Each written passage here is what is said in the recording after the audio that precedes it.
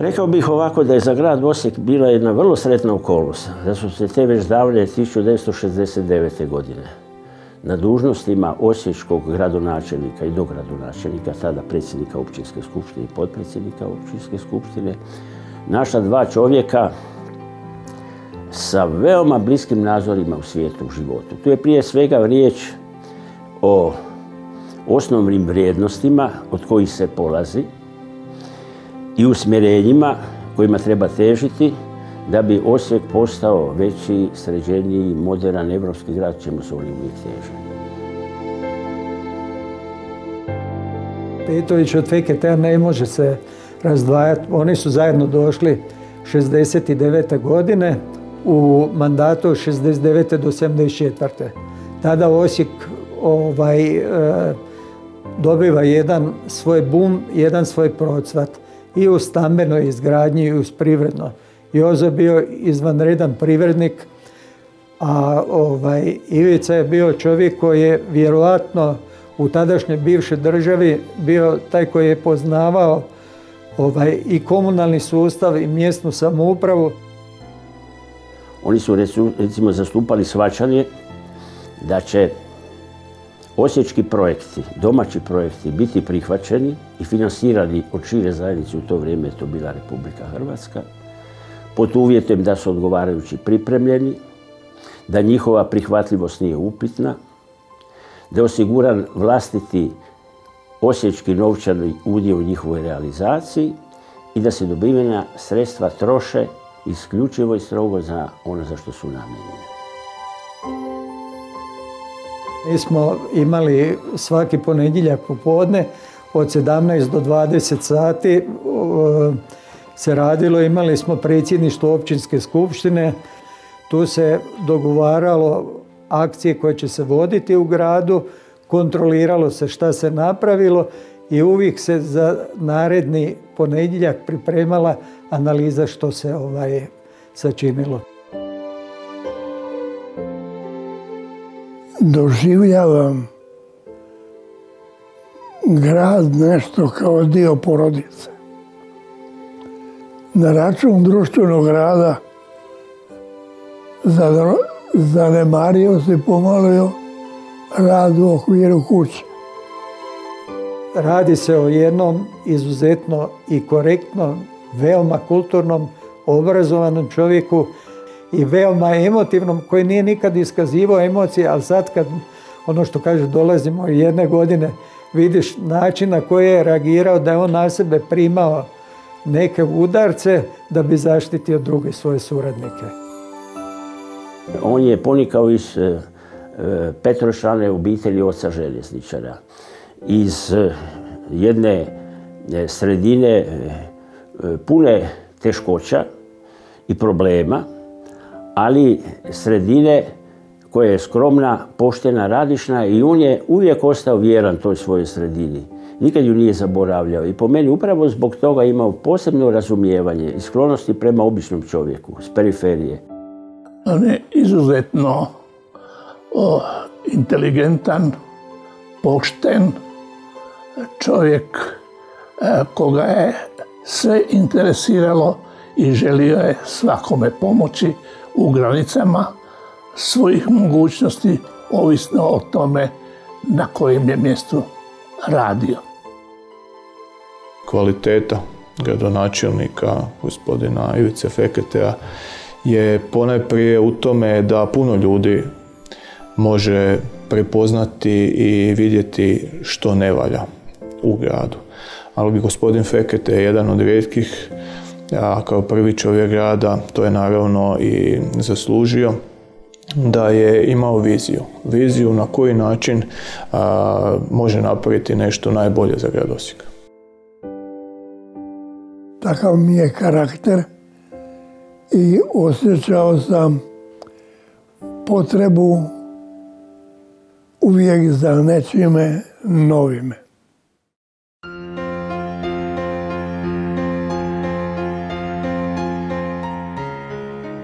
Osijek je on zatekao sa veoma velikim nedostacima osnovne komunalne infrastrukture, vode, kanala, cesta. Tramvaj je imao samo jednu traku, isto sa južne strane. E, vode i kanala nije bilo. Jedina asfaltna veza bila je Osijek, Kopanica i to vjerovatno zato jer je bio izgrađen autoput Zagreb i spoj takvog grada mora se napraviti. U to doba je e, veliki dio grada i centar grada, kao što je blok centar, e, naš e, bio selo sa 137 stambenih jedinica. Odbijale su trgovačke kuće da plasiraju u trgovinu e, materijale koje rade.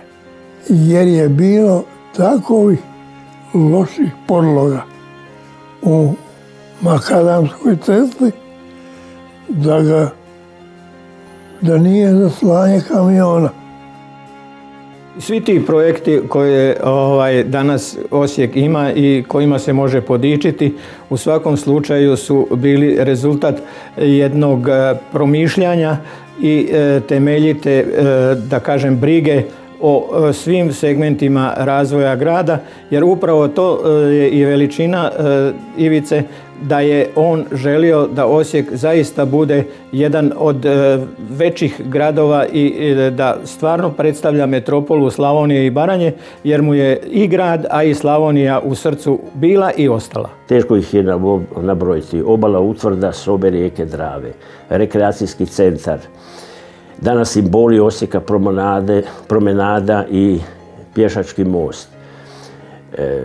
To su deseci novih osnovnih škola, dječjih vrtića, domova zdravlja, ambulante. Nakon osnivanja sveučilišta uređeni su brojni sveučilišni fakultetski prostori, građano je godišnje do tisuću stanova, e, obnovljen je glavni gradski trg, danas trg Ante Starčevića, izrađen prostor ispod njegove razine s lokalima e, i drugim za, različite uslužne djelatnosti. Modernizirani su glavne gradske prometnice. E, naselja s područja općine su povezana asfaltnom cestom, preko 30 naselja ukupno. Počela je obnovna tvrđe, izgradnja južne obilaznice, e, izgradnja gradskog kolektora. Dakle, zaista jedno more e, dobrih dijela koje je ostvario Ivica Feketa u vrijeme svoga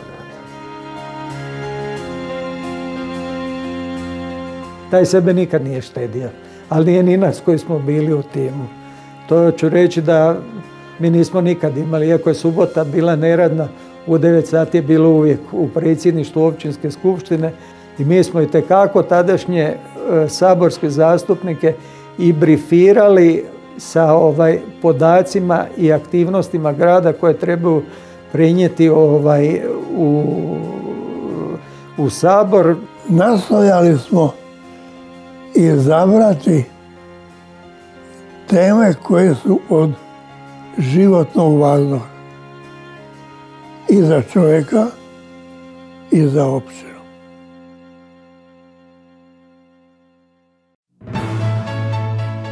Odluka u jednom gradu, odluka o politici, ono mora imati dugoročni značaj. Postoje zadaci jednodnevni, kraći, a i tako koji se protežu kroz nekoliko i decenija. I vi ste ovaj, kao građanin i kroz glas Slavoni kao ovaj, e, regionalno glasilo i kroz taj delegatski vijest imali obavijesti sa sve ovaj, općinske skupštine, sa svih sjednica izvršnog vijeća, rada društveno-političkih organizacija i ovaj, uvijek se u dinar ili u paru znao koliki je tadašnji budžet bio i koliko je potrošeno. U ono vrijeme se to e, moglo napraviti e, jer su se organizirali, da tako kažem, samo doprinosi i e, ljudi su bili željni da kažem napretka grada i gledali su za opće društveno dobro i izdvajali su ovaj određena sredstva i akumulirajući ta sredstva e, na jednu što kaže zajedničku e, hrpu moglo se, moglo se iz tih sredstava dosta toga napraviti. Dakle, sami građani su izdvajali sredstva za taj općinski udjel. A onda na ta sredstva su dobivena sredstva. Recimo, koliko se sjećam za obalu, na naša tri dinara Republika je dala devet. Ali da nije bilo projekta naših tri dinara, pitanje da bi to dobro. U to doba su ovaj, napravljena i mnoga urbanistička rješenja i odabir je bio ono što je najekonomičnije da se to prvo realizira. U jednoj godini imam podatak da je izgrađeno 1112 stanova u samo jednoj građevinskoj sezoni. Grad čine ne samo gospodarstvo, nego i školstvo, obrazovanje i kulturni sadržaj. I kao što se vodilo računa o svim onim djelatnostima i sadržajima koji grad čine gradom, tako se vodilo računa i o kazalištu i, i kazalište isto obnovljeno u to vrijeme, kao i mnogo toga drugog. Tu je gospodin Fekete bio i e, predsjednik odbora za samodoprinos u gradu Osijeku za izgradnju objekata za ovaj društvene djelatnosti. U tom su išli izgradnja objekata za sveučilište. Sve iz ovog e, samodoprinosa sa, sagrađen. A ovaj način je omogućeno svakom i svakom djetetu, posebno nadarenom djetetu, bez obzira njegove materijalne prilike da studira u svom gradu. A ne da ne govorimo o drugim vrijednostima koje sveučilište e, e, ima za napredak i razvoj jednog grada. Pristupilo se izgradnji novih škola ili proširenje postojećih i tako dalje. Dakle, da ostvarimo jednu ustavnu e, odredbu.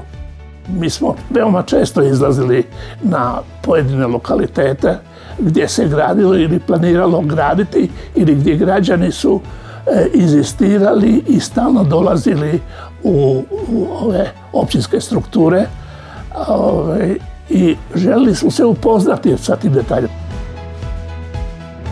77. godine kad je Osijek, mislim, 18. ili 19. svibnja ušao u prvu ligu, mi smo se našli u, to je nedjelja bila, u ponedjeljak popodne u 5 sati u općinskoj skupštini i donijeta je odluka da se stari stadion u gradskom vrtu sruši i za 40 dana napravljen je ovaj velelebni objekat. Rekreacijski centar Copacabana. On je, ovaj, e, njega nisu gradila poduzeća. One su završne i ove stručne rado. Ali najveći obol u izgradnji je dala omladina grada Osijeka. Srednje škole omladine iz radnih organizacija i tu je bila i prva osječka omladinska radna akcija. Cijelo vrijeme od izgradnje pa evo sve do danas ti objekti su e, poslužili za e, brojna natjecanja, čak i svjetska prvenstva, europska prvenstva i slično i da e, toga nije bilo daleko manje bi i svijet, a i građani Hrvatske čuli za Osijek, znali za e, sportske rezultate Osijeka i Osječana, a isto tako i e, manje bi imali prilike mladi gdje da treniraju, igraju i da se e, rekreiraju.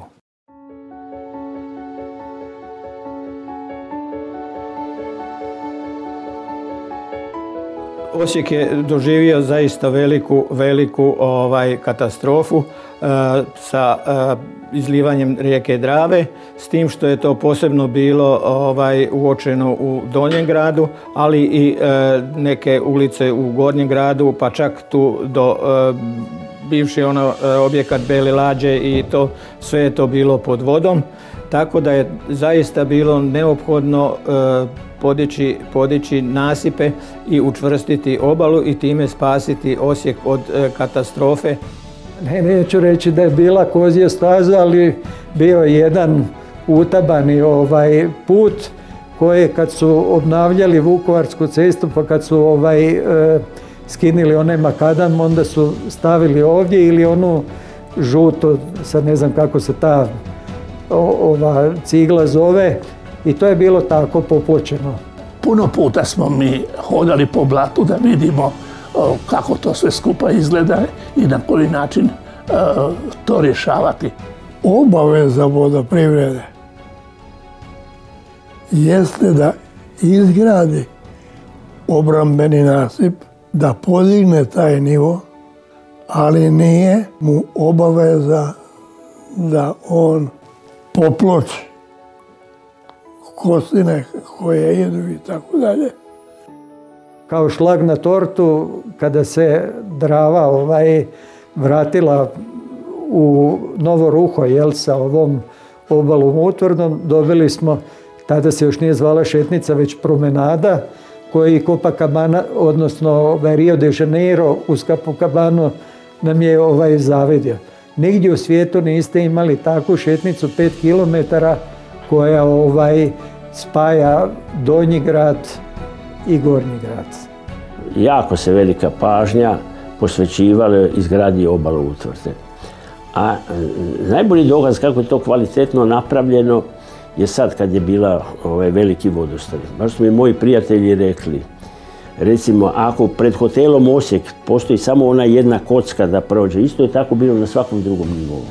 Dakle, taj je e, projekt ostvaren zaista, angažirali su stručni ljudi i stručni ljudi su to obavljali, bio je nadzor. I zaista svi oni materijali koje je trebalo ugraditi u obalu su ugrađeni, zato to tako. Normalno bilo je natezanja oko toga kakav kamen će, čiji će kamen biti ovo ono. I napravljeno inače je čak hotel e, donje etaže, mislim prizemljeno suteren, bolje rečeno, on je bio predviđen e, ovaj, na visini da kad je visoka voda, da se u podrumu tome voda nađe. Zato je napravljene one žardinjere koje su imale između ovaj, utore gdje se i daske, e, debele daske, držale u jednom skladištu u hotelu da se slučaj visokog vodostaja se postave i pjesak s druge strane vreće.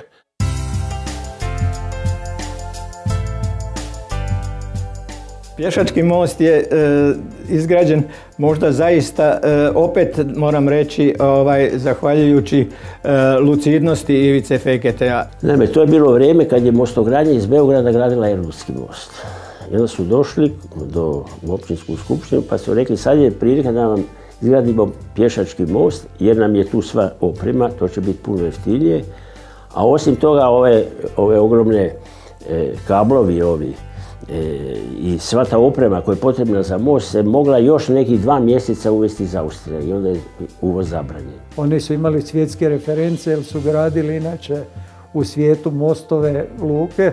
Ostalo je nešto materijala, ostala je radna snaga i zahvaljujući brzini koje je Ivica Fekete ovaj, e, uspio napraviti, doći do ovaj, da se donesu odluke na izvršnom vijeću i općinskoj skupštini. To je most koji je za manje od godinu dana. Ovaj. Pješački most je bio predviđen generalnim urbanističkim planom na pravcu Kopakabane, negdje bliže Iktusu. Uh, međutim, mi smo u dogovorima i sa gospodinom Feketeom uh, prikazali mu da je nelogično da se to odvlači. Ljudi imaju daleko više od tramvaja da dođu i da dođu na koncu u Copacabanu, u kupalište. A tamo se koristi ono dve, dva, tri mjeseca godišnje. I pomaknuti na pravac ovaj, ove naše ulice Stepinčeve. Nažalost, tada je ovaj, uz one najljepše čestitke tada su to ovaj, čak i pogrdno nazivali fekete bridge. Iako danas se to govori sa jednim zanostom, sa jednim poštovanjem, ali nekom je onim starim generacijama malo ideološki ovaj, to smetalo jer je podsjećao na Golden Gate.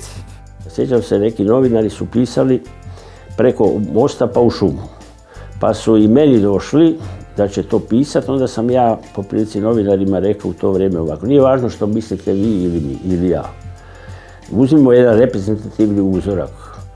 Sto naših sugrađana, različite dobi, mladi, stari, muškarac, žena, umirovljenik, učenik, pa ih pitamo, pitaj što o tome misli. Sve ono što je opće dobro, što je za svakog čovjeka, što je radost radniku, običnom čovjeku, intelektualcu da šeta, da uživa, da ide na kupalište preko, to je dobro. I onda su odustali, rekli su u pravu si, nećemo pisati. Ja vam mogu reći da je svega 6% od ukupno mase, a 30.000 ljudi je na to anketirano, bilo protiv toga nego da pače podržali i tako je to niklo. To je zaista vrijeme najvećeg procvata grada Osijeka ili kako neki zovu zlatno doba razvoja Osijeka. Činjenično stanje je da je taj period od 1974. godine do 1982. godine kad je on bio čelni čovjek grada jedan od zaista najkvalitetnijih perioda razvoja grada koji je taj doprinos koji je razvio i napravio je zaista ostao upečatljiv dan danas i prepoznatljiv. Slavonija i Baranje bila je jedna od najrazvijenijih regija, ne samo u Hrvatskoj, već i u bivšoj ovaj, državi, uz jake kombinate kakve su bili ovaj, Pik Belje, IPK Osijek, PPK Kutjevo, uz Olt. Tržište je bilo jugoslavensko zatvoreno tržište. I vi ste recimo mogli prodavati kekse slobode po cijeloj Jugoslaviji i u bivšim socijalističkim zemljama a niste mogli kupiti njemački keks, e, austrijski keks, engleski keks i tako dalje. A sad kad je tržište otvoreno, sad je nastala strašna konkurencija ispred, nude se proizvodi e, proizvođača koji su tehnološki po znanju i po pameti sto godina ispred nas i naravno da su nastali problemi. Ko kaže kad ste išli iz Arduta za Osijek, onda ste vidjeli deset dimnjaka. Kad ste išli iz Đakova prema Osijeku, još ste deset. Kad ste išli sa ove e, zapadne strane, opet ste vidjeli deset dimnjaka. Uz katedralu mi smo bili po dimnjacima najova, ali to je bila i zaposlenost velika. Pred početak rata Konđa pokojni ispričao da je u robnoj kući u Beogradu jedna čitava etaža crvenila se, a crvenila se od traktora, kosilica i svega onoga što je standard radio i koji je e, tamo isporučivao. U ono vrijeme e, je privreda Slavonije i Baranje bila, e, da tako kažem, sklona i izvozu, a i uvozu i tu se računalo pored putničkog prevoza da će i kargo e, prevoz dobro doći i zaista je tako bilo jer su se e, izvozili jednodnevni pilići, e, uvozila se koža za kožaru ovaj, u Vinkovce i čitav niz da kažem kargo prometa je na neki način doprineo lakšem dolasku do sirovina industriji Slavonije i Baranje. Najrađe se sjećam recimo te atmosfere, znate, to je bila jedna uvodna atmosfera, ljudi se nisu bavili sobom, svi su bili sretni što se ostvaruju projekti, bio je jedan korektan odnos, nije bilo mita, nije bilo korupcije, to je bilo nezamislivo, znate. I ta jedna sveukupna atmosfera, jedno zadovoljstvo da ide zadovoljan na posao i da, da vidiš da postoje rezultati, to je zapravo najvrijednije što nosimo sebi iz toga vremena. Meni je ono vrijeme u kojem sam i ja sudjelovao i uz gospodina Stanića Ljubanovića, a u timu Ivice Fekete ovaj, svakako jedan ponos da možeš reći da si bio dio tog tima i da i moje djeca znaju što si ovaj radio. Ljudi su imali veliko povjerenje u njega jer sve ono što je on obećao, nije olako obećavao, želio se sporazumiti šta se može šta ne može. Uvijek ima ljudi koji e, idu stranu, koji izbjegavaju. Ako on ima vodu, kanal, struju, on će biti protiv toga i još ako bude glasan, u stvari narušava taj e, nivo sporazumijevanja, a e, gospodin Fekete je bio taj koji je uspio i te ljude ovaj, pridobiti da dijele mišljenje i, i sa e, svima ostalima. Moram vam reći da smo ga prvo predložili za plaketu udruženja jer je 20 godina e, po odlasku u mirovinu volontirao u udruženju i dokazao da e, čovjek može raditi i onda kada je u mirovini.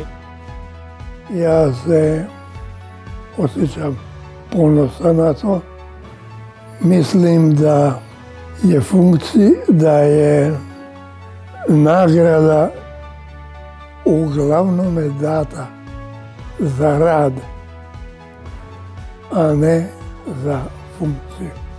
Ali zapravo pitanje je da li mu se uopće možemo zahvaliti i odužiti za sve vrijednosti one koje je unosio u Osijek i u živote svojih sugrađana. Sve ono što je realizirao, poneprije materializirao, je i dan danas jedna kvalitetna platforma na kojoj mi baziramo budućnost grada Osijeka.